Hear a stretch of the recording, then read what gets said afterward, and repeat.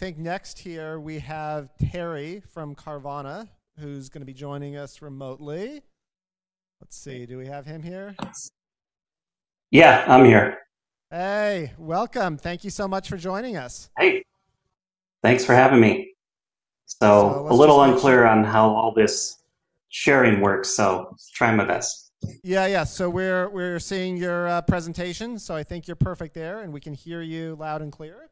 So yeah, as the uh, name implies, uh, Terry's going to be speaking to us about events with Zio, Caliban, and Apache Pulsar. So I think we're going to see how a lot of the things we've talked about earlier today fit together in a large organization and how they actually made it work in practice. Yep, exactly. Um, so I'm I'm Terry Drozdowski. I'm an engineering manager at Carvana. Um, going to talk about um, what we just recently put into production, um, Zio with uh, Caliban and Apache Pulsar. Um, doing some cool stuff. Um, so we're going to talk real briefly here about what we used it for, how we used it, what the outcome was, and what some future efforts might be. Um, so let's talk about our use case. So before I do this, let's talk a little bit about Carvana because I think if you're in the United States, you you might know who Carvana is. Um, if you're not in the U.S., you probably can't tell because we geo block the world for for various reasons. But um, we are one of one of the largest, if not the largest, online pre-owned car um, websites in the United States. Uh, we're a $50 billion company, um, pretty large organization at this point. We started adopting Zio probably about a little over a year ago. So we've been pretty early adopters on all of this. And uh, we have a couple things out in production, and uh, we are in the process of migrating from Akka to Zio. And we have a couple projects that are 100% of the way there, and some of them that are getting pretty close to being there. So, um, because of the nature of the group that I work for, I'm working for the special projects area. So, we work on projects that are not yet publicly announced. And because we're a public company, there's, I can't really say what we're doing. so, I'll talk around it. But let's imagine we have an application that contains a number of long running processes, and this is all based on user input. And that this user input comes from a user who's providing us data about their vehicle, let's say from an iOS device. So they gather all the information that they need about their vehicle, their VIN, um, uh, engine type, color, everything, take pictures, submit it to us, and we do a lot of processing, long run, long running processes that occur um, over this uh, application run. So this is something that we don't want to tie up the, the user. Um, we want to do a lot of this stuff asynchronously, and all of these um, nice, nice little technologies allow us to do that. So like I said, um, user needs to be updated um, as soon as processing is completed, um, and we have a native iOS app.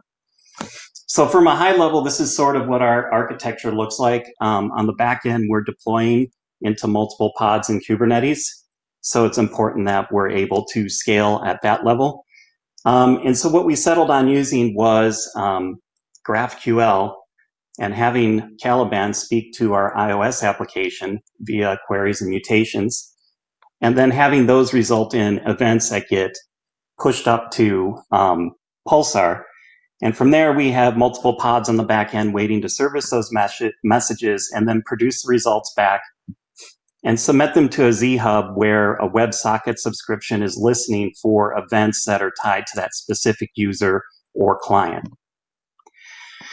So all of this is 100% Zio native code. Um, we tried our best to, to, to use whatever Zio libraries we could find, and um, where we couldn't, we, we wrapped uh, existing Java libraries to help with that.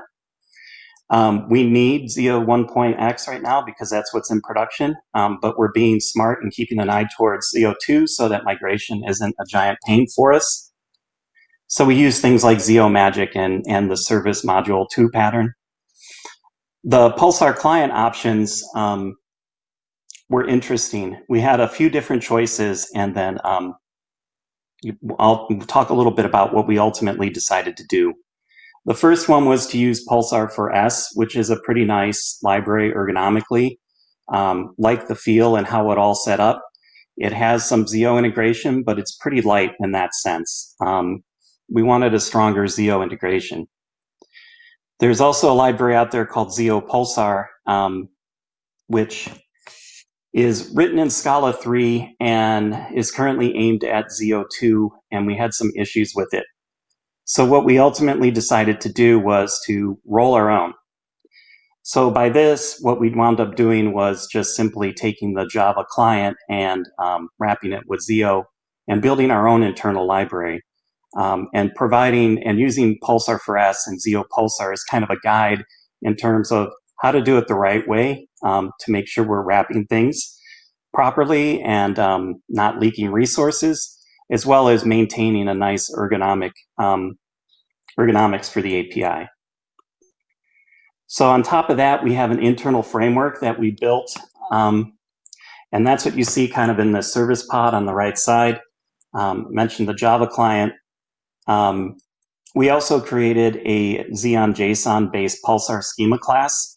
So if you're not familiar with Pulsar, one of the nice things about it is for the messages that live on the topics, you can define a schema class. So if you have an Avro message, you could define it in terms of Avro, um, XML and XML. Um, and so we just wrote a custom one that worked with Zio JSON and used the uh, codecs that we are already using across the project, and that made it all snap in pretty nicely. And then we created this new concept of a, an event dispatcher and an event handler. So um, we limit how many consumers we actually have from the topic, and we just have the, the consumer publish the messages to the event dispatcher, which will then find the appropriate handler and send it on to the service. And then, of course, at the front, we have Caliban. Um, and um, this was an opportunity to use subscriptions, which I think is a really cool feature of, of GraphQL and maybe not so widely used. Um, but subscriptions are backed by WebSockets. Um, the application can make a subscription to them. They authenticate over the WebSocket. Um, we learned a lot in terms of how all of this comes together, but it was all pretty seamless. Um, and ZHub helps us listen to the in inbound messages and then filter them out for the specific application user um, that the subscription is for. So let's look at some code examples under the hood here a little bit slow. So this is just some test code um, based on the, the API that we put together. And the two things worth pointing out is um, the producer is pretty simple, um, used via the um, accessor method. And then um, the other important side was how do we add it to our layer and also make sure that it's part of ZManaged. Um, and this is all hidden here in this build from config where we can just tell it the key um, in the HOCON and behind the scenes, Zio config is going to go load up the configuration and then um, work with the um, config objects from Pulsar to build up our producer class um, and, and give it to us wrapped uh, nicely. Then on the um, consuming side, uh, this is more in the in the dispatcher side here. Um, the, the cool thing to look at here is the consumer and how we're also calling build from config. And all we simply do is pass in the event topic we want. Um, and we give it a Pulsar subscription, which admittedly could also be part of the configuration, um, but right now is separate. Um, but subscriptions are, are a key part to Pulsar in, ter in terms of um, managing where consumers left off. Um, it'll track it by name uh, if they're durable and there's all sorts of different types. Uh, Pulsar is a, a, a, pretty deep topic on its own. Um, and then the dispatcher itself um, basically is fed a sequence of event handlers. And then each event handler itself knows what event that it's listening for and can simply grab it, uh, or the dispatcher will forward that message to them. The dispatcher then signals whether or not uh, it was successfully processed so that the so that the message could be ACKed or NACKed, uh, depending on uh, the results. So some results and, and things that we learned here. Um, we wound up with a really nice system uh, that was pretty easy to extend. Um, and, and that's important for us. Um, makes it a lot easier for new engineers who um, aren't familiar with any of this technology to kind of jump in and say, okay, I just need to add an event handler here um, and not worry about all the gory details. Um, lesson learned from first time in with Pulsar, um, ACK and NACK those messages. Um, Pulsar has a default 60 second auto NACK, and uh, you will learn the hard way um, if you didn't spot that in the documentation quickly. Um, as you start, if you have a long running process that is trying to takes long, longer than 60 seconds to process a message, you're going to see um, duplicates. Um, the other thing learned here is Pulsar is highly resilient. We haven't been able to push it over. Um, it's surviving, you know, all our consumers and producers are surviving uh, Kubernetes rolling pods uh, from the CI CD pipeline. We're not losing track of anything. Um, so far, it's been very nice in that regard. Um, it's all cloud native, which is really important to us. Um, we operate across three different, all, the three major clouds, um, primarily in Google. And so um, you know, being cloud native and having a solution we can deploy into Kubernetes and, and just work is, is key. And of course, it's fast. Uh, we learned sometimes it's faster than our downstream services that are owned by other groups within the organization. Uh, so uh, we had to use some other trip, tips and tricks to kind of slow down uh, some of the messages and uh, apply some back pressure. Um, one of the other things I did want to talk about, and, and one of the other nice things about Kubernetes or uh, Pulsar in general is um, it does have this concept of a retry topic. So we have long running events that we're asking a service that's owned by a different group to process data for us. And unfortunately, the best thing we can do is ask them every minute, are you done yet? so Pulsar has a native retry topic in there that allows us to do that and not worry about losing mem- in memory state of, oh no, the pod rolled and I was in the middle of a retry and now I've lost track of it. Um, sure, there are other ways to do that with the database, but to be able to lean on the messaging system to just retry that message later and maybe send it to another pod that's live um, is, is really nice.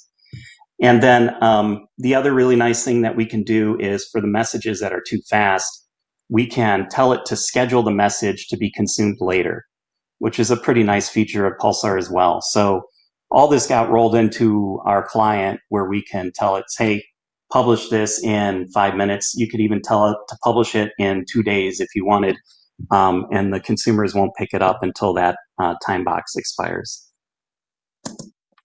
So some future efforts here. Um, there's a lot more features for Pulsar that we aren't using, and um, as we start using them, we're going to need to roll them into all of this. Um, we have um, an internal framework that we built around the client where it's probably not as generalized as it could be. Uh, it's one of those trade-offs with uh, time versus, uh, you know, doing things right. Sometimes you got to take a shortcut, and so those need to get cleaned up. Um, we need to get to um, well let's let's just say i would like to get to Zio 2 uh, as soon as we can and and ultimately scala 3 i think Zio 2 is a bit more important to us in in terms of uh, you know improving code use. Um, in our organization and, and at least in the job market right now it's extremely difficult to hire scala engineers. And so being able to hire engineers with different backgrounds and bring them along into scala and Zio is important. So having the right frameworks that are easy to use and have good ergonomics is critical in this situation. Um, Scala 3 will be nice too, but um, there's nothing really pressing us on that at the moment. Um, and open source, I, I, don't know, maybe at some point we can figure out how to uh, open source some of this and, and make the, the general client and framework that we built uh, available to everyone. So that's it. Um, thanks, guys. Uh, appreciate the time. Um, just a shameless plug here that we are hiring like mad. Um, so if you want to work with Scala and do cool stuff in Zio, um, reach out to me on Discord um, at at Zymox. Thank you. Oh my God, Zymox! Yeah. I didn't know who Terry was, but I know Zymox. Uh, great talk, Zymox.